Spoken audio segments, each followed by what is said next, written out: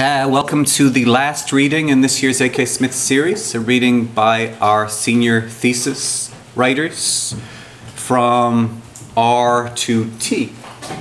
Um, we're going to go in slightly off alphabetical order since Melissa Sital needs to be across campus by 1.15 for a science symposium. Um, so the running order will be Melissa Sital, um, Julia Rubano, Jackie Sanders, Max Schaefer, and finally Victoria Trentacost. Um, this is the culmination of work that they've been doing over not just the past semester but the past four years.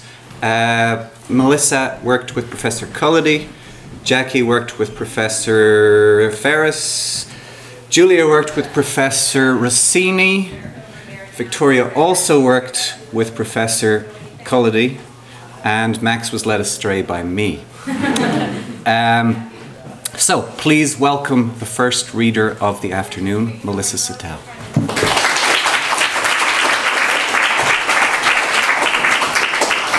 Thanks. Kind of wish I wore heels. okay, um, so I'll just get right into it. This first excerpt is from a story about a graduate student named Amelia who takes on a promiscuous persona, Eden, on weekend nights. It's called Boots.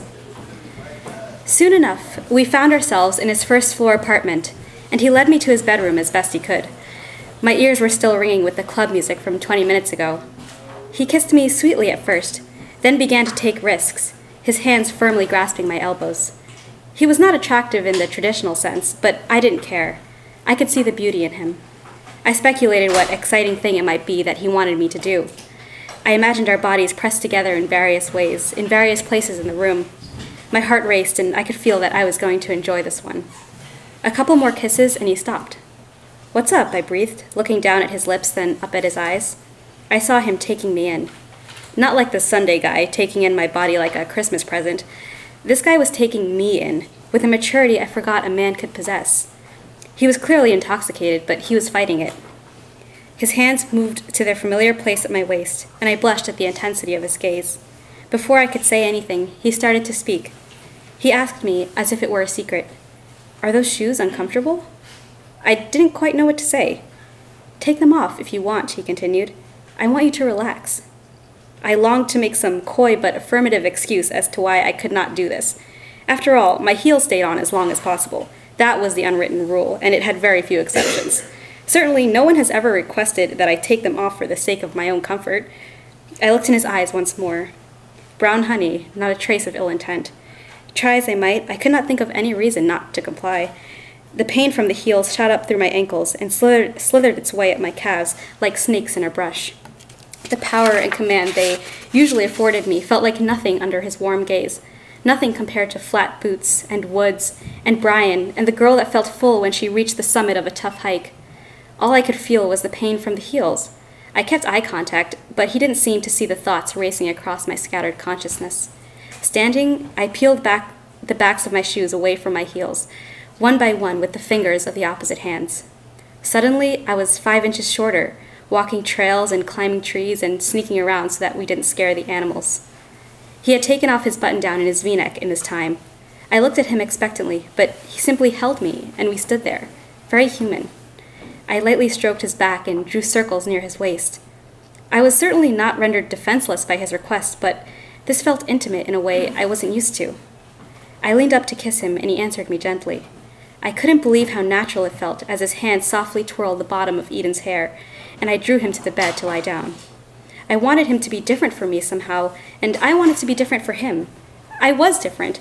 I wasn't the old Amelia or the seductress Eden. I was whatever I was supposed to be. He made me want to be this new Eden even after his time was up, even during the daytime, in weekdays, in front of everyone. The satisfaction of knowing I could still change had a richer flavor than the satisfaction of the heels that lay abandoned on the floor. Never again did I want to face my old, stale life, buried with Brian and crusting up like the hole he put in his own head. We were not in sync. It was not fluid or flawless, but it was new. When we were done, I giggled with him and we talked like old friends. He asked me about myself, and I told him some things Amelia and some things Eden.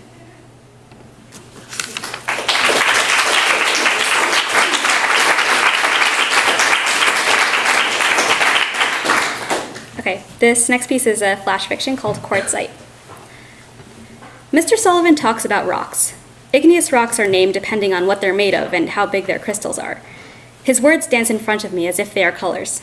The soft hum of the slideshow projector, the occasional shuffling of papers, and a woodpecker working someplace outside the window all create sounds that interlock with the colors of his words, and it feels like looking into a kaleidoscope. I am feeling lightheaded, so I stare at the cartoon rocks on the slideshow with unusual focus. My hands are clamming up, which is strange because they never get sweaty or warm. In fact, my hands are always freezing, a fact I try to hide by wearing gloves all the time. I don't want to look down at them because I know they're shaking. I keep them clamped between my thighs, my knobby knees pressed together. I might just give myself away. Now there is a looping animation showing the formation of sedimentary rocks. Tiny fragments of other rocks are carried by the river and fall together until they are compacted on the riverbed. There is no way to trace the origins of each little grain, or more likely, no one ever bothers. When the slide changes, the image of a compacted sedimentary rock appears, and it looks just like a slice of layer cake. The bottommost layer, Mr. Sullivan tells us, is the oldest, buried as more and more sediment washes over it. Sometimes memories come to me like dreams, but they don't feel like mine. My stomach, which usually feels like it isn't there at all, is getting back at me now. I feel pangs deep where the food should be, but I'm familiar with this feeling and I won't let it win. Mr. Sullivan glances at me for a moment, and my entire body relaxes like a towel that someone finished wringing out. I cannot be caught. Examples of metamorphic rocks flicker into view. Quartzite is immediately my favorite. Soft, baby pink like a little girl's dress, but its jagged edges show what it's been through heat and pressure. There is no trace of whatever kind of rock it once was. Mr. Sullivan says that rocks become metamorphic with enough heat and pressure. I believe him, but there will never be enough of either. I keep trying because it just feels good. I clamp my frozen hands together and attempt to focus once again. I imagine a rock inside my palms being forced into beauty. My whole body feels wound tight. The movements of my classmates feel like vibrations moving toward me. The fidgeter next to me sends the tap, tap, tapping of his shoes straight to my brain like a gong being rung. He and I used to do homework together, share our deepest secrets, make out backstage during drama club rehearsals. But now he is just the fidgeter next to me. I know that he cannot see me. I feel my invisibility. I've become nothing in a room full of childhood friends, ex boyfriends, and potential lifelong companions. The images on the slideshow are melting together with the text, and my lightheadedness intensifies. I try to think back to the last time I ate food. It was probably five days ago. This makes me feel a bit better. I try to focus on my spine, jutting out of my back. I find myself wishing someone would see it, say something. Say, hey, Kim doesn't look so good. She needs help. She needs people. Why didn't we see it before? But it's not going to happen. They can't see me. The last thing I see is Mr. Sullivan's concerned and confused expression as he looks at me for a solid three seconds. I feel myself rolling backwards in my chair in slow motion. I let myself shake, shake, shake, body and hands free. Three seconds later, I faint. I wake up in the nurse's office with no recollection of passing out. I hear the nurse's voice in the distance calling my parents, and my heart sinks. I look to my left, and there's a fidgeter sitting beside me. He perks up as soon as I open my eyes. Are you okay? I was worried about you. School's almost over, but they let me stay here. I can't say anything. I'm still trapped in myself. No glimmer, no baby pink, no crystallized edges. I am still just a series of layers, not metamorphosing, but eroding. He has come to watch me erode, but I don't mind. Maybe he'll bother to find out where all those little pieces came from.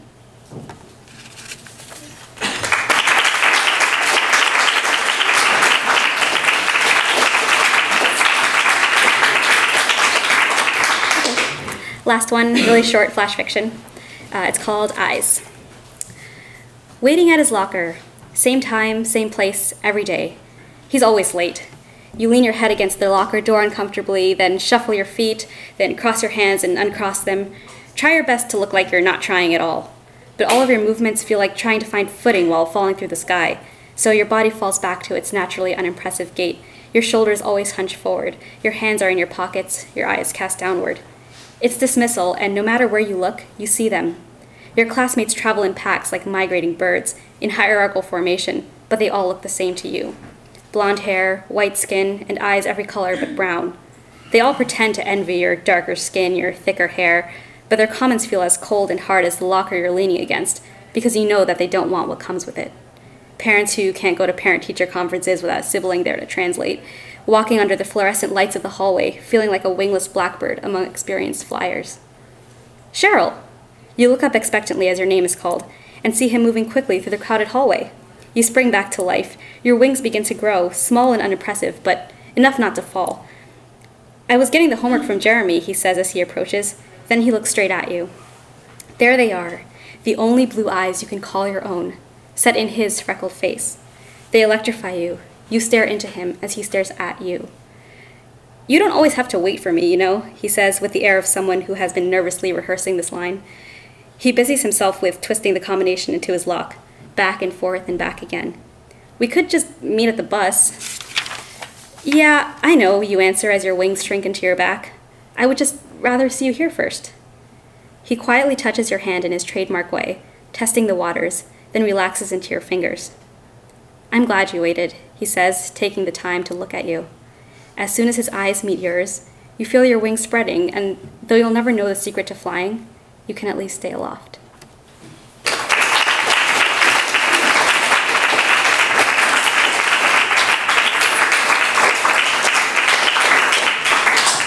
Thank you. Okay, the next reader will be Julie, Julia Rubano. Okay, hi. Um, I'm going to read poetry. And um, before I get started, I just wanted to give a little shout out to Clara Cini, who has read this literally 50 times. And thank you so much. I feel really bad that you had to do that. But um, you get to listen to it again. But um, I'm going to read a couple different pieces that kind of speak to the mix of my thesis as a whole, which is called Blue Hydrangeas. Um, this first one uh, was inspired by a car ride my mom and I took up to um, Ogunquit, Maine when I was a kid. We were meeting my sister and my dad there, who went a couple days earlier. And um, I wrote this poem for Professor Berry's class in his seminar last semester. Um, and yeah, it's called No Good Comes from North of Connecticut. we were invited north to some place in Maine. So on a slow Saturday morning, we backed out of the driveway in my mother's old Volvo station wagon and headed up north to see moose, eat lobsters. I 95 sweltered in the heat. I imagined the difficulty the woodland animals must have been having staying cool that day. When we came upon him, we must have been almost through Massachusetts because I'd just asked that we stop driving and go to Cape Cod instead. His head was bent backwards and one of his legs faced the wrong way at a 90 degree angle. My mother screamed and nearly hit the concrete barrier sitting idly in the middle of the highway. His golden fur was matted and in places painted a deep red. A blue collar barely visible around his neck. A single tire mark across the greater part of his belly. No other cars in sight. Later, animal control would punch into a car phone the numbers on his tags would tell the family that Sam or Max or something entirely unique had been hit on I 95 in this sweltering heat. And I'm sorry, but where did they live? Did they want to receive the body? Um, the second one is called Blood Bank. Um, and it's not really inspired by much of anything, um, except my mom works in um, Yale New Haven Hospital, and I went to visit her visit her a couple of weeks ago when I was on a doctor's appointment. And um, it's inspired, I guess, by uh, this doctor couple I saw talking over a couple of charts. Um, and they looked really sweet, and I kind of imagined this is like my imagined version of them, I guess, in a more poetic fashion. So, blood bank. We met over a bag of blood marked O negative. You commented on the variety of colors in the plastic covers some violet, others crimson, deep blue. Outside, the moon waned to crescent, and somewhere in the nearby forest, a wolf stretched its head towards the stars to bellow. My brother needs a miracle, you said. The wild dog's howl trailing off into a whimper. He's running out of time. My speech moved too quickly inside of me, the thoughts hatching and fleeing before they had the attention, the, the chance, excuse me, to catch the attention of my tongue. I wanted to reach out, put my fingers to your wrist, feel the blood as it gushed towards your fingertips. But I felt naked in my own clothes. The clear sacks of plastic held together by cheap adhesive and bursting with darker versions of cartoonish blood never once broke. Um, these next two are in a three-part series. I'm just going to read the first two. Um, Professor Rossini noticed in when I first started work, working with her, because I didn't know her before this um, whole thesis process started, that my mom appears in like 80% of my poetry. And um, we, I talk about this in the preface to my collection, but our relationship was really rocky as when I was a kid. Um, she's a full-time professional still, but especially when you're little, um, that's hard as a kid um, and as the older sibling. And so I noticed when I started writing that she appeared in most of my stuff. So we decided to make a whole mother's section, kind of. Um, and this one is called Mother's Girl. And like I said, it's three parts. I'll read you guys the first two. It's chronological. One. My feet are wet, but she tells me to keep walking. It's your fault you didn't wear boots. The snow, pitiless, sits in frozen clusters on my lashes. I'm all skinny head and big lips, the opposite of my mother. Her eyes are blue and ecstatic, the left one littered with green flecks the color of hot summer pond scum. Its pupil, slightly off center, is always dilated. My pants are too big. Sliding off my right hip, they're stuck under my sneaker's heel and soaking. You were right, I think. I should have worn boots. We slog down the east side of Signal Hill, past beachfront homes twice the size of our own, and I don't wish for a moment that any of them was ours. My mother walks past me, comes up around my puffer-coated shell of a body. She winks her left eye gently, and for a moment the mix of blue and green is just skin and lashes. That's when she pulls at the belt loops, loopholes I refuse to use, and she fixes me. Two. The earth feels wet and dry at once. It's March and always raining. A small reservoir by my childhood home floods at this time every year. So does the house's basement. Dad forgets to turn on some pump and mom yells, damn that reservoir. If only winter would dig its nails in around the ides and drag this out. I'm not sure there's anything sweeter than the sound of, of snow falling. Every evening after my shower, I tell myself to do as my mom taught me. Brush my hair, which hangs long and heavy down my back, and braid it. Go to sleep uh, earlier than the night before. but the clock reads 10 and then 1. Rain pounds against my window's thin pane, and it feels like three minutes, but it's four in the morning. My hair's already dried into dreadlocks. I lie there wishing for another night lit by hushed silver snow of by the hushed silver of an unexpected snow. But things move so quickly. It's March and always raining. Um, I'll read one more. Um, this one was, I think, the last poem that I added to the collection. Um, and it was inspired by an explanation I gave um, Professor Younger the other day in class about why I gave him. We did this thing in our film seminar called Ranga, and we had to make up like these fake names. Um, and I chose something having to do with Snodgrass um, because the first poem I ever recited and uh, memorized for the first time was by W.D. Snodgrass called A Locked House. Um, and it's still like my favorite poem, and I can still remember it. And so I found that it kind of, his stuff appears over and over again, including in nicknames I use for senior seminars. So um, yeah, this is kind of an ode, I guess, to um, Snodgrass and how he has kind of appeared again and again in my work. It's called The Home That's Not Our Home.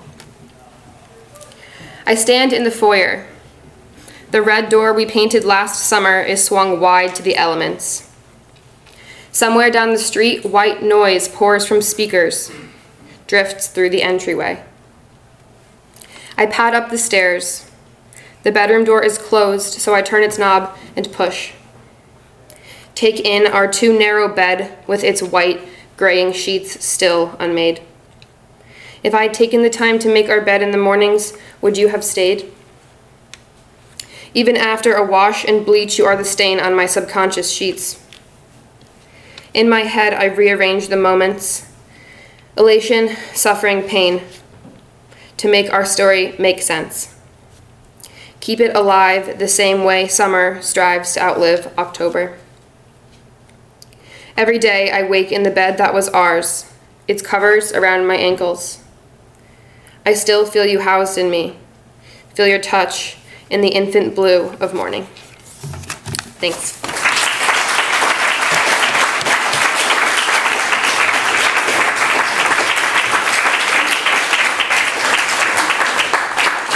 Next up is Jackie Sanders.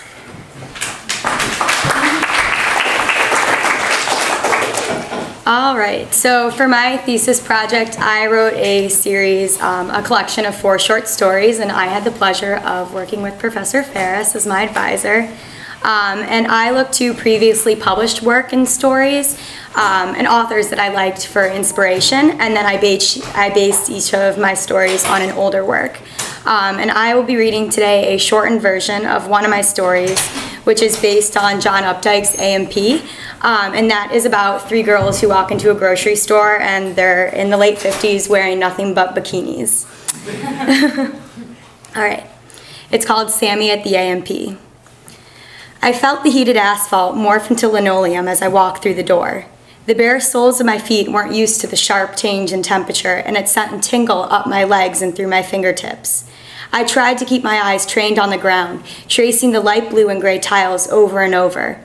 A distraction, any distraction from the fact that I was practically naked in the A&P. I followed Susan as she walked over to the bread section and almost walked into her when she stopped abruptly.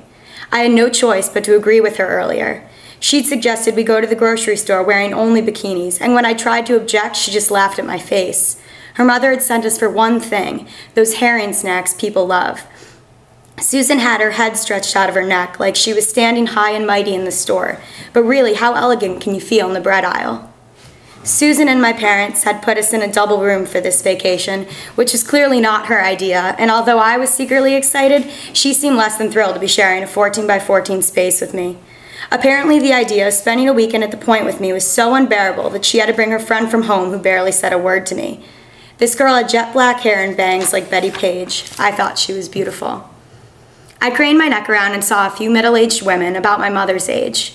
These women had blonde bobs, perfect, wearing cardigans and t skirts purchased at the secondhand store a summer or two ago. One of them was looking at us, but the moment we locked eyes, she, walked, she looked away. I think she was more embarrassed than I was at that moment. She leaned over to a friend that was at the cart side by side, and together they started whispering loudly, all the while staring at us. Look at these girls. How inappropriate. How uncivil. Don't they know this is a fine Christian establishment? We turned the corner, down the cat and dog, food, breakfast, cereal, macaroni, rice, raisins, seasoning, spreads, spaghetti, soft drinks, crackers, and cookies aisle, and on either side of us sat brilliantly colored packages begging to be purchased. I temporarily relaxed and reach out to grab the first package I saw. The shrink wrap felt cool against my palms. I heard a sharp laugh and looked up to see Susan turning around, winking at me, and her friend joined in too. I guess I'll call her Betty because she still hasn't introduced herself to me. My palms were sweaty as I watched Susan's lanky legs propel her forward on the linoleum floor, away from the cookies and me. I tossed them back haphazardly on the shelf and followed the girls. Excuse me, sir, Susan said, leaning forward towards the counter. The straps of her bikini had fallen down onto her shoulders and they just grazed her tan skin. The bun that held her oaky hair had started to come undone, and now just a few strands fell around her shoulders and face. I looked down at my own body, my pale stomach protruding from the space between the green gingham fabric. The man behind the counter came over and raised his eyebrows at what he saw. Hi, sir, could you please tell me where the herring snacks are? Susan asked. Yes, honey, they're over in aisle three, right next to us here. I watched him follow Susan's step as she wheeled around, walking towards the aisle. His eyes fluttered over her legs, her hips, her chest. When we made it to the aisle, I proudly pointed the snacks out to Susan, and she grabbed the smaller of two jars. Kingfish fancy herring snacks and pure sour cream. Susan ushered us to the cash register, where she chose a gawky cashier about our age. He had dirty blonde hair that stuck up on the sides, like he hadn't slept on his back but had tossed and turned around all night. Around his neck, he wore a gold shining cross that contrasted with his pale, hairless chest. His name tag read Sammy, and he looked each of us with a lopsided smile. His fists were clenched and he looked pale, uncomfortable to be there. But what I noticed most about him wasn't his awkwardness, it was the fact that he was staring at me, not Susan. His blue eyes made me very aware of what I was wearing. I folded my arms over my stomach. Susan put down the jar of herring snacks and the cashier picked it up, slowly studying the label. His hand slipped and he almost dropped the can, maybe from the cold, I really couldn't tell. Susan slowly slipped a folded dollar bill out of the center of her bathing suit, keeping a nonchalant look on her face. I blushed for her, and Sammy did as well. He looked up at me, and we stood for a moment, united under Susan's control, blushing because of embarrassment or intrigue. And then, the moment we shared was ruined by a large red faced man coming out of a door marked manager. He looked each of us up and down, and my heart sank as I knew this couldn't end well. I looked back at Sammy for help, but he had the same look on his face of desperation and maybe disappointment. Girls, this isn't the beach, the manager said, emphasizing the last word. I was too tongue tied to point out the fact that we knew that. We weren't near the point anymore, and I hadn't come from the beach at all.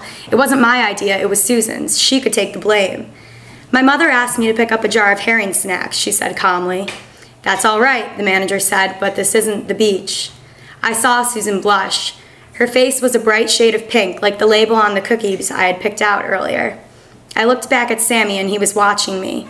We weren't doing anything shop we weren't doing any shopping. We just came in for one thing, I said. The manager looked at me and shook his head. His right hand fluttered up, fingering that necklace. I noticed he was wearing a gold cross like Sammy. That makes no difference, he said. His eyes began to trace down my body. We want you decently dressed when you come in here. Susan pushed herself forward, her blush cheeks fading. We are decent. I watched as Sammy slowly punched each key with his index finger, taking the time to calculate each movement. The cash register made little ping noises that were sharp against the soft background music, some instrumental flute piece. I wanted him to look at me again, just for a second, but he simply finished and handed Susan the change. She turned on her bare heel, immediately walking towards the door. Her chin was raised just as high as when we first walked in, and I snuck one more look at Sammy before looking at, before heading out. We walked to my car quickly. I breathed out a sigh of relief, thankful to be back in my car and out of the A&P. The sticky heat in the car felt comforting, like a warm blanket being wrapped around my barely clothed body. Susan slid in the front seat, letting out a small laugh. Well, that was ridiculous. Who do those Gorham think they are? In the rearview mirror, I could see Betty nodding, smiling too. Annoyed, I glanced out my window and saw the cashier from earlier walk outside. Susan and Betty's conversation faded away from my ears as I watched Sammy, intrigued by him. He kicked a tire on a nearby car and it looked like he was talking to himself. He looked angry, fueling, completely different than the uncomfortable impression I got of him earlier. I wanted to talk to him. I wanted to apologize for causing the store trouble. I wanted to tell him that it was Susan's idea, not mine. I checked the rearview mirror and saw my dark curls frizzing from the humidity inside the car. I tried patting down my hair, putting one hand on each side, but it was no use. Oy vey, I heard my mother say in my head. I unlocked the car door and got out. The hot asphalt burned my feet, but I didn't care. I needed to talk to him. I'll be right back, I yelled over my shoulder at the car, and I heard Susan question me, but it didn't matter. I kept going. As I got closer, I could hear him cursing under his breath. He was leaning against the car now, one hand rubbing his forehead and the other holding a cigarette. He looked up as I cleared my throat. For a moment, our eyes locked, and I saw his eyebrows knit together as he blew smoke out of the corner of his mouth. I sensed confusion as he squinted one eye, but then he relaxed, smirking as he sized me up. Close up, I could see his face, the small acne scars along his chin and forehead, the slightly damp clumps of hair along his neck. I could see he'd cut himself shaving this morning. He nodded his head. You got me fired, he said. His voice was loud but shaky at the same time. What? I quit, I mean, after you left. He looked down and then quickly back up at me. It wasn't fair, you know? You should be allowed to do what you want. Lengel shouldn't have been like that. Lengel, I asked, confused. My manager. He just did that because he wanted to please the customers. Because you're, you know. His sentence drifted as I continued to talk to him. Look, all I'm saying is he's a small minded man, teaches Sunday school and whatever. He didn't want you three upsetting the customers when you aren't from here. His voice sounded like a hollow drum as he said the word from. All I could say was, I'm sorry. It's all good. I'll find myself another job, another mindless one to please my parents. He flicked a cigarette onto the ground. But you, you enjoy your freedom while you still have it. He was squinting up at me. The sun was blinding his eyes. I nodded. You want to go for a ride? He gestured towards the car. I couldn't read his expression. Um, I should be getting back to my friends. They're in the car, I said, but his eyes were looking straight at me and I felt my face heat up. I started walking towards his car, forgetting what I just said. For a moment, it looked like I'd chosen the right option. He inspected me up and down again, slowly this time, and his right hand figured that gold cross around his neck. Then I watched as his face suddenly went sour and he got in the car. I stood there as he turned on the ignition and he stuck his head out from out of the window. Hey, I liked you better from the back, by the way. He sped off, leaving me still practically naked in the AMP parking lot.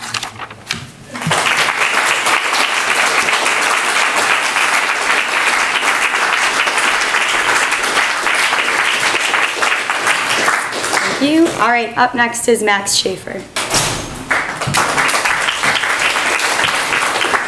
Hi guys, um, I'm going to read a few poems for you today, and uh, I wasn't sure how to introduce my thesis as a whole in terms of an overarching theme, so I just picked a few that I uh, hoped wouldn't bore you to death. Um, this first one is called The Price of Poems.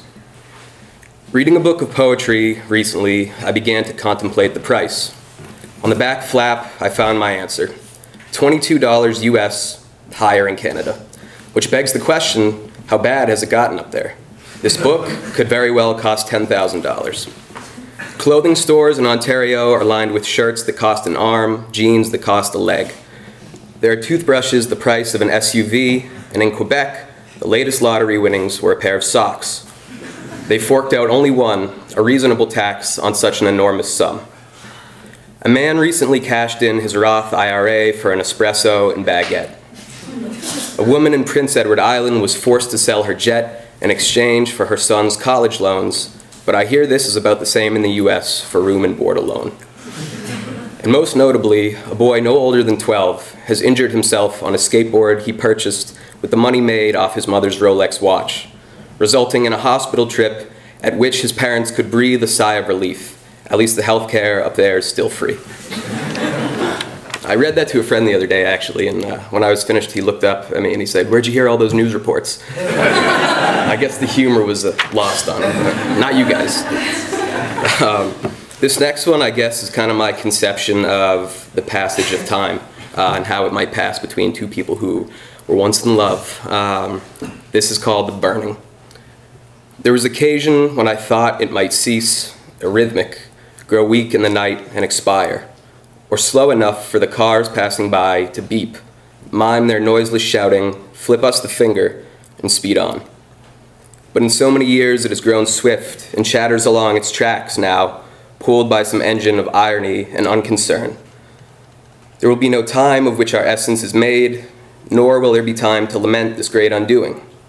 There's not time enough for dinner or even coffee and as the clock burns brighter on the wall, we press the minutes to our eyes like fingers in hopes we might slow the fire. Uh, this next one, I guess, is kind of a metaphor uh, between a girl dancing and Microsoft Word. Uh, it's, it's called Fonts. She unfolds her laptop and lays it on top her desk. The teal cashmere sweater hugs her breasts high fives her waist, and she is dancing, no less. Each keystroke, some new address. The W, a two step, Q, calypso, the samba, S. I let her lead while I clumsily bang her knee or crunch a toe. I press B, her C, and she tells me what she needs is space. So I tap it and move a quarter inch more from her face, but this is not enough, she says. I watch her tab over wildly, adjust the margins, and change the font. She has become Courier New. I'm stuck in Comic Sans. this was all unplanned, so I close out quickly and reopen to reboot. But she has saved as, exported to PDF, and switched rooms. It's just me now, dancing some solitary waltz, keeping rhythm with my keys while I try to remember her voice. Um, this next one is actually the title of my entire thesis. It's about the, uh, I guess, somewhat recent Malaysian Airlines crash, and I guess there's uh, some headline today they found some more information of. It's not in here. Uh, I can't help you. This is called Clo Clothes for a Ghost. All right, good night. Flight 370 is vanished still into what seems like air, maybe deep water, according to some. The wife of the one American on board believes her husband is alive. She knows how valuable Americans are in these situations. She has packed a bag with clothes for him for when he returns, for a ghost. She checks his Facebook for vital signs, a scant SOS or beacon, but often grows weary and returns to bed in tears. I believe they know its whereabouts, the plane. I think something sinister is happening. I think we are being fooled. 227 people disappear like contrails in the night, and there are no answers. Not one of us is safe. Who then will pack a bag for me when I disappear? Who will kiss my picture and tell the news stations I am alive? Um, two more. This next one is called The Graduate. It's kind of self explanatory. the Graduate. When I leave here, we too will cease. The enormity of us, absent, empty bins. This city is crumbling. Red and white brick, returned to dust, rolls towards us now. Get out, we yell over the other screams, but the purpose is long since gone. And the homeless giggle as our houses fall, one by one, like candlepins. Um, this last one, I don't know if anybody else has this issue, but like some nights, most nights I'll wake up at three or four to get a drink of water. My roommates can attest to this. Um, and the frequency at which it happens is like a little bit concerning to me. Um, so I wrote a poem about it because, of course, that solves everything. Um, and it's an embellishment of this, so don't don't get any ideas. This is called the Madman. I am doing things in my sleep, like eating and walking naked through the house. The neighbors have not complained yet, at least, although I leave most blinds completely open. Maybe they like it. This sad young adult feeding and stumbling about unhinged, seemingly drunk. They don't buy cable. Instead, they awake when the fridge swings ajar at 4 a.m. to reveal my form wincing against the light, tomatoes, sausages, and uncooked broccoli sprouts. These hungry voyeurs watch me, laughing, while I fumble with the tinfoil, digging for a slice of pizza. I clear my way past the edamame and baby carrots, straight to the cupcakes and leftover pie. And they are glued to this thickening plot, they spill their butterless popcorn in sheer surprise as I consume yet another spoonful of chocolate yogurt, three handfuls of potato chips, and a gigantic swig of OJ. I await the morning they pull me aside and recommend a vegan diet, a pair of sweats, and a new set of blinds. Thank you.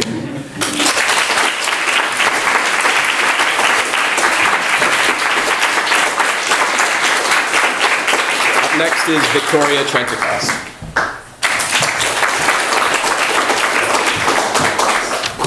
So um, I've been working um, this semester on a novella. Um, so it's all one piece. Um, it's called Corporate Silence. Not too far from an experience I had last summer working in corporate in corporate America. Um, so I'm just going to read you some excerpts from it. So this is just a little bit of a forward to set everyone up. I've spent a long time lying to people, and by people I mean myself. It's become a habit. But I guess if I'm going to tell the truth about anything, it should be this. It started the summer after I graduated from Boston College. I had a degree in marketing, an apartment to myself, and a job working for one of the top marketing companies in New York. Of course, I was quite impressed with myself. I was convinced that marketing meant advertising and numbers didn't exist in a creative workplace. It took me a month to figure out I was wrong. It took me even longer to admit it. Adidas was a client of the company I had just started working for, but we weren't in charge of their billboards in Times Square. Yulia Marketing Co. was hired to plan the dinner parties our clients were having to promote their brand, the lunch meetings to sign deals for commercials and internet ads. As the mere marketing apprentice, I was blind. All I saw was my strong, powerful boss and the opportunity to make something of myself, to have my name known, at least to have it known to somebody. The only problem was what went along with that name the person. I hadn't figured that part out yet. It took me over a year of ignoring who I was before I understood what I wanted, which was to be doing anything than what I was doing, and left the company. As for the people who I worked with, I don't know if I ever understood them. Or worse, maybe there was a time when I did. Chapter 1 The girl had been left to sit alone in the conference room. The dark wood table in the center made the room feel narrow. It was the kind of table that cost more than it was worth simply because the buyer, by principle, didn't care about the price. It rounded at the corners in a fleur de lis style with a gold trim groove along the edge. The artificial lights above reflected off its clean surface in little yellow discs. Empty chairs lined the table like expectant listeners, like a panel of critics. Their black leather cushions looked new as if no one had actually ever used them. A clear window filled the entirety of one wall and looked down to the street where coffee carts and food trucks scattered the sidewalk. Inside the building, workers flashed past the hallway outside the conference room. The doors to the room were frosted glass, just thin enough to hear the elevators, yet just thick enough to keep any conversations locked inside. After several minutes, the door swung open and a tall woman entered the room. Her dark hair fell perfectly around her powdered face. Her eyes were smoked with a smooth liner and her lips dressed in a commanding red lipstick. Her pressed pencil skirt in charcoal gray and a white silk blouse created the perfect hourglass silhouette. There was the faintest scent of a perfume floating around her. It smelled of warm spices mixed with blossoms, like it had been imported from Paris or India via England. Everything in the room shrunk when she entered, as if bowing to her presence. She eyed the girl who stood and smoothed down her pants. Cadence, I presume, the woman stated. My name is Julia Hawkins. If you get hired, you'll be working under me. Please sit. The girl obeyed. I've brought an additional copy of my resume, she said, as well as a portfolio with some projects I've worked on. I need someone who can follow directions and execute whatever things might come up, whether or not I'm here to direct, Julia said. I take directions quite well, the girl said. I mean, I've helped on a lot of projects, but I've led some too. I can think on my own. The woman continued to question the girl. She asked how well she knew basic computer programs, how well she knew more advanced computer programs, if she was able to take notes well, whether or not she was organized. You'd be working mostly with Alina, Julia said, who helps with the project, so I need someone who can balance many different jobs. Julia flicked through the girl's resume and portfolio. Her eyes barely grazed each page before she turned to the next. I need someone who can learn. That's me, the girl said. I'm very good at taking directions and developing. Julia tossed the papers down on the table and looked at the girl. Her gaze was calculated her eyes steady and piercing. All right then, Julia said and rose. The girl followed. We'll be in contact. Um, so the way that I actually have been working is a form inspired by Lorrie Moore's anagrams, where you actually switch between third person and um, first person. So obviously the forward was in first person, that was in third, um, flipping back to first person. The muffins at the bakery on 11th never tasted as good as they looked. But when we were feeling optimistic, Shauna and I would trek to the West Village hoping the atmosphere would make up for it. Paying an extra subway fare for someone to put a leaf design in our lattes made us feel independent. Shauna had a theory about people who worked in coffee shops. She believed they were the darkest and most cynical people in the world. I work in a coffee shop. people who serve coffee always have snarky, sarcastic undertones in their voice, Shauna said. I thought their tone was more sincere. But then again, I didn't consider myself a pessimist. Shauna was the kind of girl who tried to get people to confess their greatest fears within the first five minutes of meeting them. I preferred to find out what movie they most recently saw. I can't believe you have a job working in New York City, Shauna said as she stared at me from over her steeping green tea. Her painted fingers clutched the red mug. She had a theory about people who worked in the city, too. They were the closest people to perfection. I rolled my eyes. You work in the city too, you know, I said. She peered at me over her glasses. You know what I mean. You have an office and a mailing address and free coffee and a whole selection of working men to look at. I never said anything about free coffee, I said. Cadence, I'm sure they can afford a Keurig, Shauna said. Maybe. If not, I would settle for a few attractive men in fitted suits. I knew Shauna from high school. She had gone to an arts college but dropped out after three semesters, claiming the curriculum was too confining for an artist. Now she drew caricatures of tourists outside Central Park. I tried to be supportive, but I couldn't help wonder if she would ever actually do something. Back in college, I thought it was edgy and cool that she had a job as a street artist. She was out there making money while I was sitting in a classroom. Once I graduated and got a job, I began to feel that just having a job wasn't enough.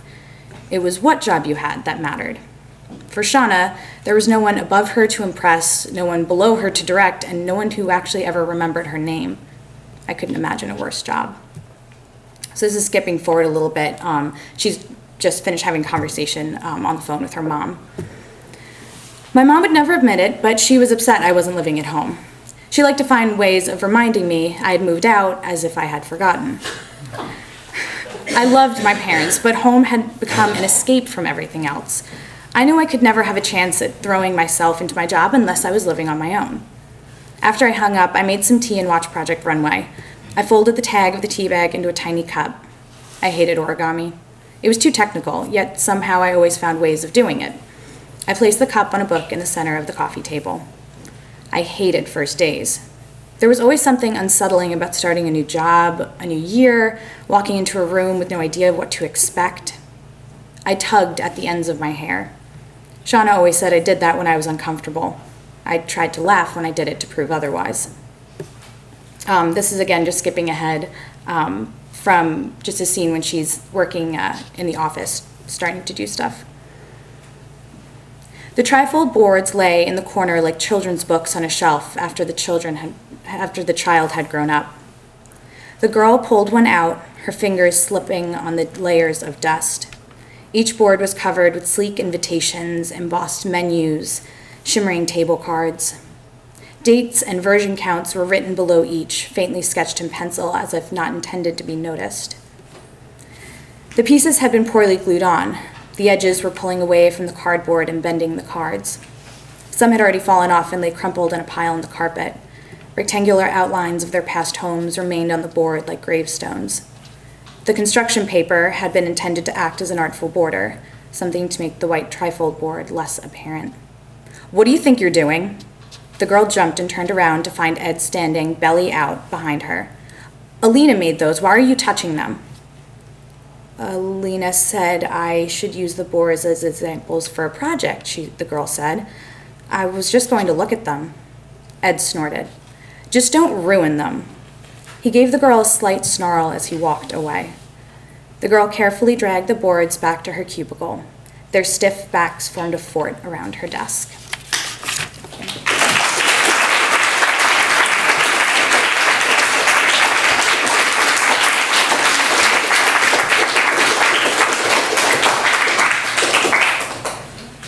Thanks for coming, everybody. Thanks to our readers. We are done.